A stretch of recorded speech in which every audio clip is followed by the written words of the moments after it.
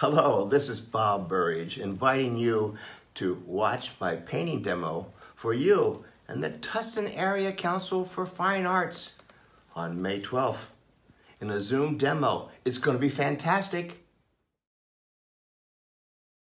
So I'll be painting start to finish using Holbein acrylic paints on 300 pound Kilimanjaro watercolor paper, you know, from Cheap Joe's, you know, and the subject will be loose abstract painting and collage and realism, and I'm gonna put it all together, and I'll finally make a decision when we get closer to the time we go to do this. So I'm gonna be finishing up with a final varnish and your signature.